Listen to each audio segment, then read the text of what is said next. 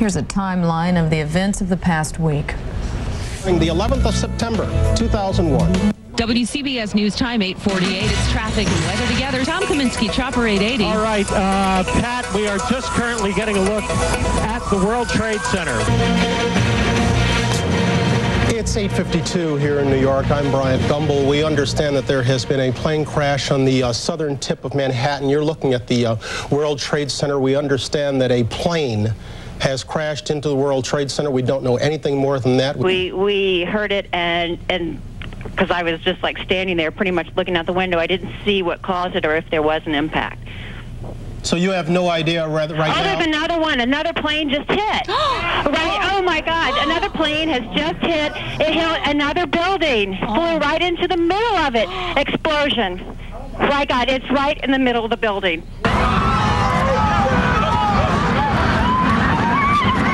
today we've had a national tragedy.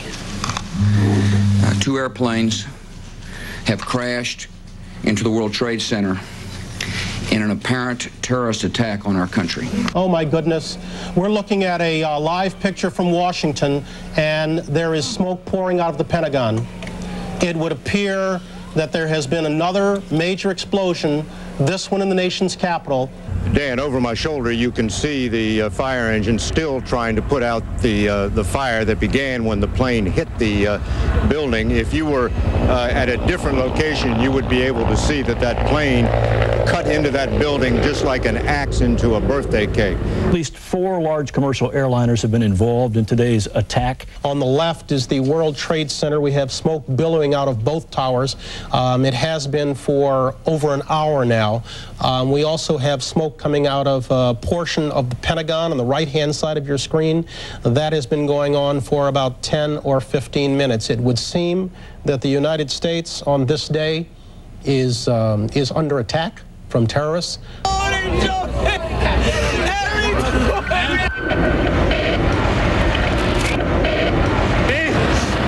It collapsed. The top floors collapsed down.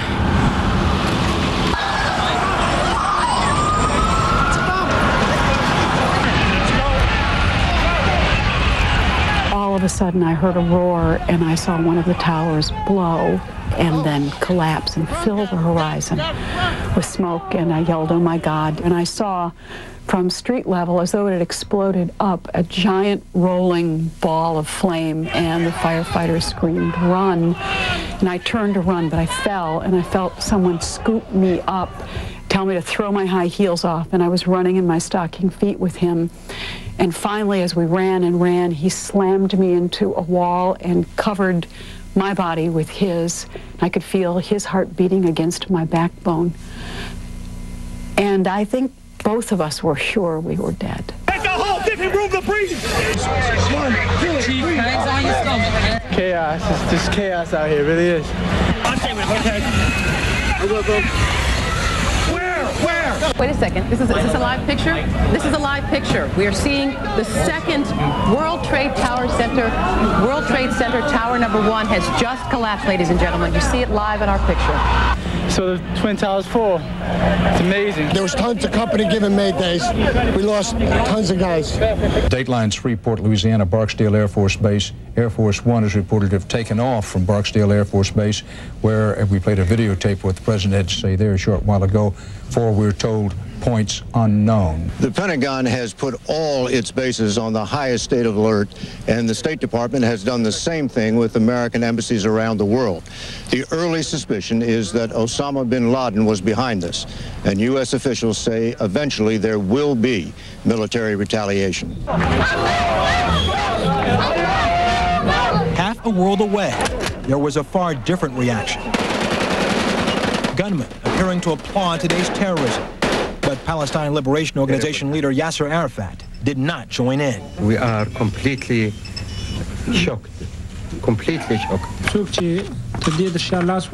In Afghanistan, a spokesman for the ruling Taliban, who provides sanctuary for terrorist leader Osama bin Laden, said he could not have been behind the attack. Everybody out! Everybody out! Back home, it was if war had been declared. But tonight, in an incredible show of bipartisan resolve, hundreds of members of Congress gathered on the steps of the Capitol. It was a kind of thing seldom seen here, and in a touching close, they literally sang the praises of their country. God bless America,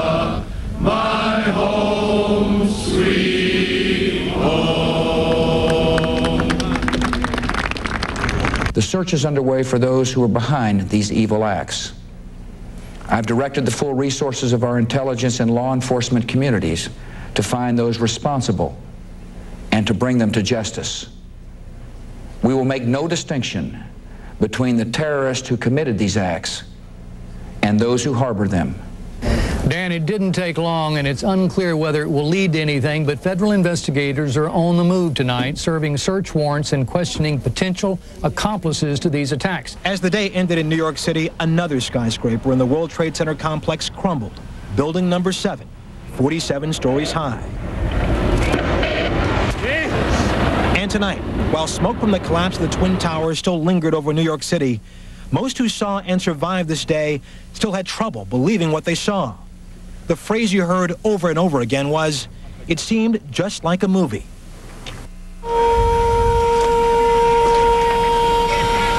Our spirits will not be broken. The resilience of this society will not be broken.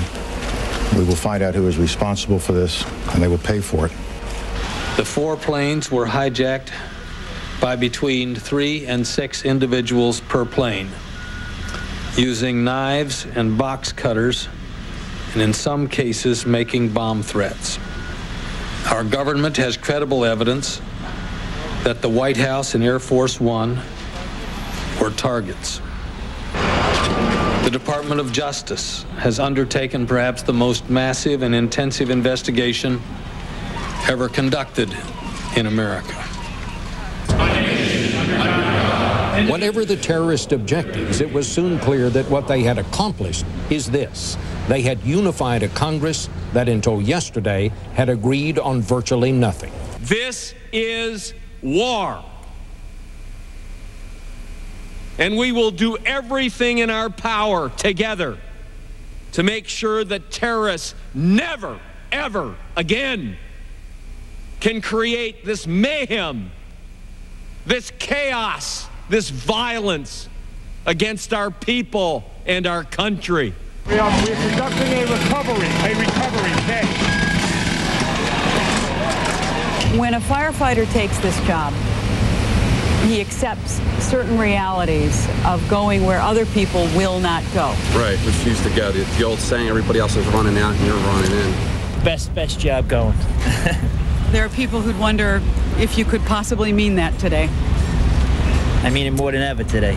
If you would like to volunteer, hundreds of people hoping to volunteer their time or donate their blood or give from their wallets streamed into Midtown New York to the regional headquarters of the Red Cross. I have blood, and um, I know that there's a great need for blood, so it seems to be at the moment the only action I can take to try to, in some way, help someone. Since yesterday, James McGinnis has been a volunteer at Ground Zero. Uh, we just left and they were pulling out about, we pulled out about five or six bodies about an hour ago. It's a very McGinnis is an emergency room nurse by profession, but the reason he came here is personal. I came down because I lost my brother in this. So it's, Your brother was in the Trade my Center? brother was on the 92nd floor. Can you process that? I mean, can you? No. I took my brother from me. It's not something I'm dealing with yet.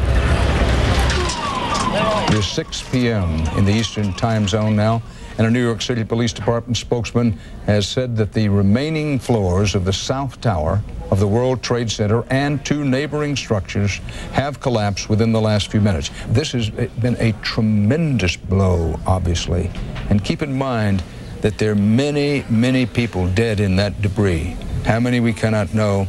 Uh, no one would be surprised if it doesn't run uh, into the thousands.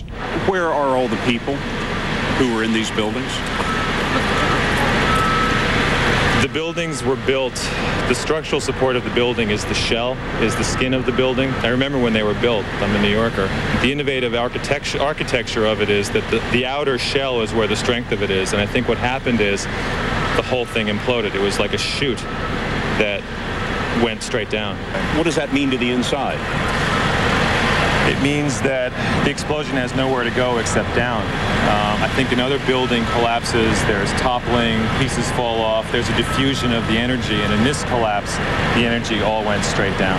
And I think that, tragically, it, anybody in that chute did not survive. I think it probably had the force of close to a nuclear blast. The investment firm of Cantor Fitzgerald occupied floors 101 to 105 of Tower Number 1 of the World Trade Center, nearly 1,000 employees. So far, only a fraction of them have been accounted for. For the families of the missing men and women, this home in Middletown, New Jersey has become ground zero of grief. Joanne, let, us let's, let's talk to you first. When was the last time you heard from your husband? Um, like uh, 9 o'clock, two minutes to 9, when the plane hit the building. What did he tell you? Um, he called me up. He said, um, I might not make it. The plane hit the building. There's a lot of smoke. the ceiling's caving in. I love you. Give the kids a kiss. What's your name? Jacqueline Ferrugio. Okay. Um, this is a picture of your dad? My father. His name is, is David Ferrugio. David.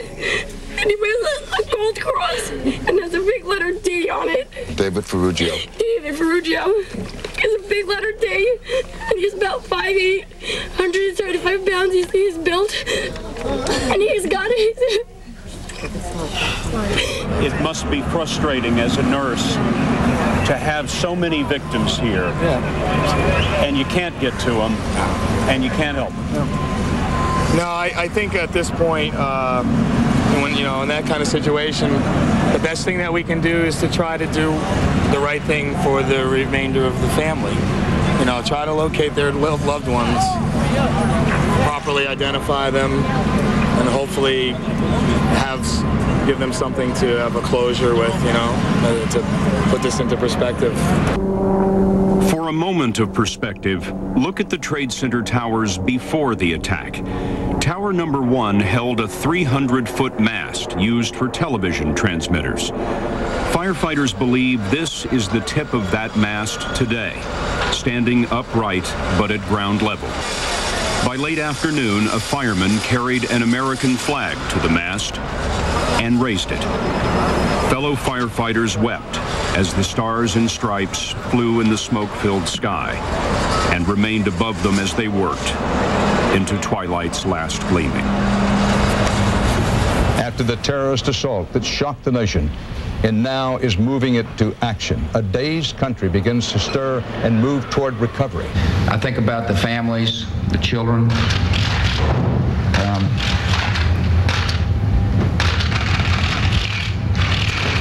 I'm a, I'm a loving guy. And I'm also someone, however, who's got a job to do. And I intend to do it. Two days after terror first gripped America, the world's busiest airport was back open for business, and this country was back flying again. International number one. Interna but getting into the airport is still not the same thing as getting into the air. All flights are canceled today. All flights, all flights 100% canceled all day long. On the floor of the Chicago Mercantile Exchange, traders tentatively returned to work Thursday. But there was no panic, and at exactly 11 o'clock, trading calmly came to a stop for a moment of silence. Let me talk to you about some video we have, amateur video. We've got some firemen here who've rescued themselves. They're coming out of uh, the disaster zone. They somehow got caught in there themselves. This is amateur video you're looking at. You know, this is a big moment for these guys. They've lost their buddies. They've lost hundreds of their buddies, several hundred. And to find each other, Dan, is truly a miracle. It was a moment of life in another day of death in lower Manhattan. The city officially estimates 4,700 missing, but everyone here expects that to climb much higher. Authorities are poised to release the names and photographs of the estimated 18 hijackers, but federal investigators are still not certain they have accounted for all the terrorist pilots. The terrorists who seized controls of the planes all attended aviation school in the United States, some as recently as a year ago, and FBI agents were busy today searching the former apartment of two of the suspects who were at the controls during the World Trade Center attacks. Using airport surveillance video, credit card receipts, and the passenger list, the FBI believes it has identified all the hijackers on the four flights. Unless contradicted by evidence which uh, we wouldn't anticipate. Uh, two planes had five hijackers and two other planes had four hijackers each. Good morning, everyone. On what President Bush has declared a national day of prayer and remembrance for victims of the terror attacks here in New York and at the Pentagon in Washington.